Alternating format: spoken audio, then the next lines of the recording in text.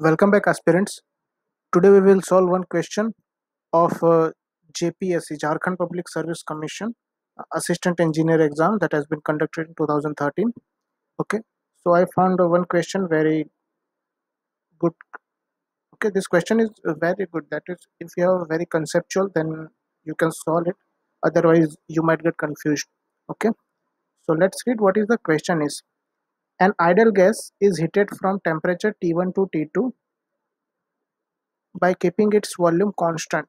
Okay, the gas is expanded back to its initial temperature according to the law PV raised to n is equal to C. That means it is a polytropic process.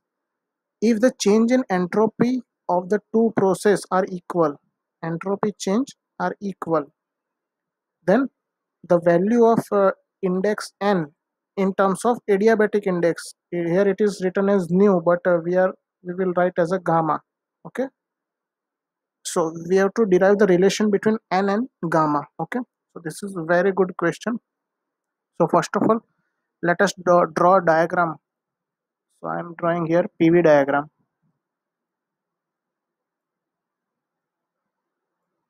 Okay? So first uh, here it is from state 1 to state 2 okay. This is constant volume process and then it is expanded back to original temperature not original volume. Okay. So here uh, 1 dash. But this will follow pv raised to n is equal to c. Okay. So and here you have given that uh, entropy change. That means delta s for process 1 to 2 is equal to entropy change from 2 to 1 dash. Okay. So now the basic uh, equation. So how can we derive this uh, equation? Okay. So we know the change in entropy for unit uh, process is known as dq by t okay? And i hope you all know this equation. And then for constant volume process okay this is given to us. It equation number one. It equation number two. Now we know the heat transfer equation uh, for a constant uh, volume process. Okay we know basic equation mcv delta t for mcv dt for a small unit change process. Okay this is for constant volume here 1 to 2 process. Wait a second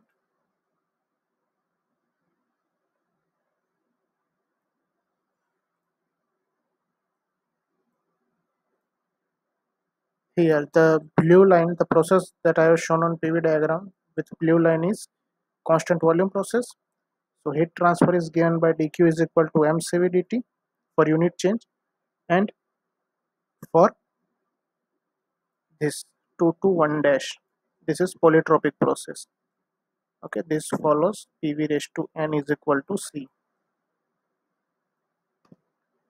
Now the heat transfer for that equation you know gamma minus n upon gamma minus 1 into what? R dv by v. Okay. This is the equation. Or when you write this dv by v sorry yes this is this is uh, dv by v. Okay. And now here we we know the equation dq and just we have to divide with t okay?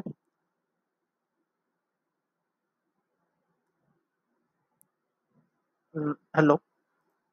Hello hello? Yes. So just put this both value in equation 1 okay? And uh, also value of equation 2 in equation 1 so we will get for unit change that is uh, mcv dt divided by t is equal to gamma minus n upon gamma minus 1 and one more thing I forgot to mention here is m not unit mass we are considering m mass okay? So mr dv by v but here temperature will remain okay constant. Now sorry here m will get cancelled out. Now when we integrate this equation both the side cv will become constant dt by t become ln t from t1 to t2 is equal to gamma minus n upon gamma minus 1 r ln v. And v from v1 to sorry v2 to v1 dash. Okay because it is starting from second point and it is end at uh, v1 point okay? So it will become cv ln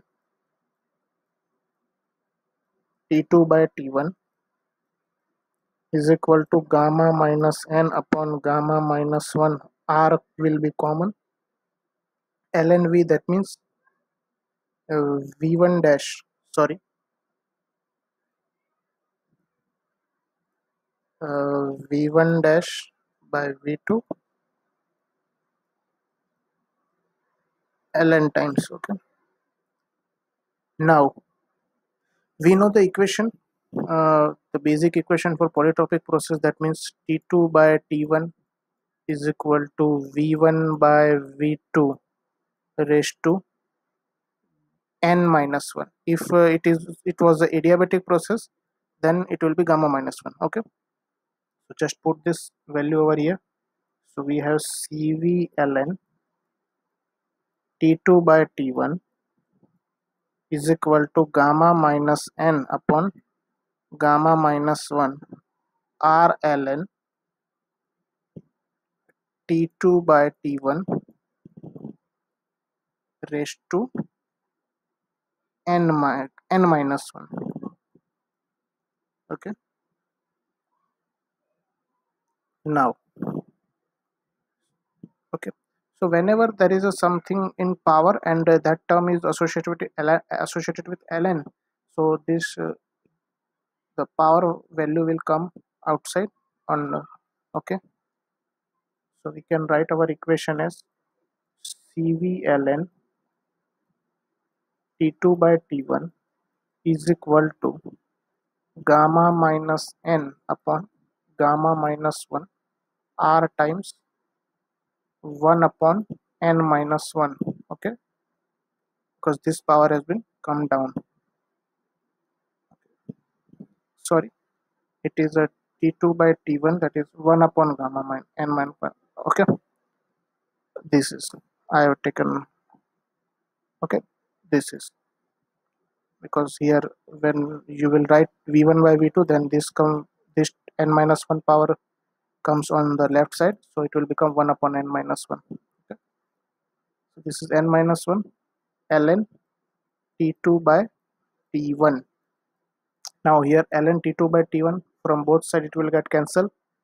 So we have cv gamma minus n upon gamma minus 1 into r times 1 upon n minus 1 now we know the value of r how we can write r as a cp minus cv okay.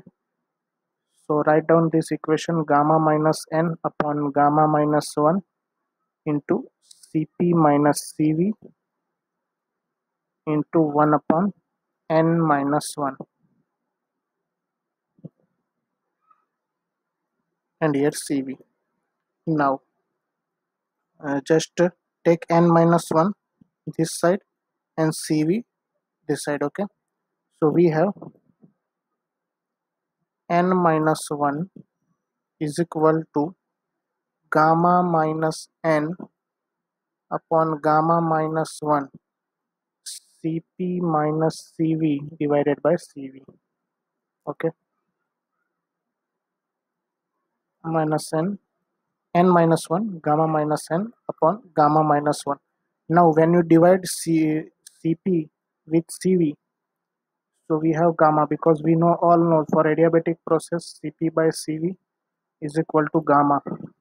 Okay gamma minus 1 so this gamma minus 1 gamma minus 1 will get cancelled out. Now we have the remaining n minus 1 is equal to gamma minus n just take gamma n on this side. That means n plus n is equal to gamma plus 1 okay? Because this minus will come on this side and it will become plus n and minus 1 will become plus 1 on this side. So we have 2n is equal to gamma plus 1 so we can finally say that n is equal to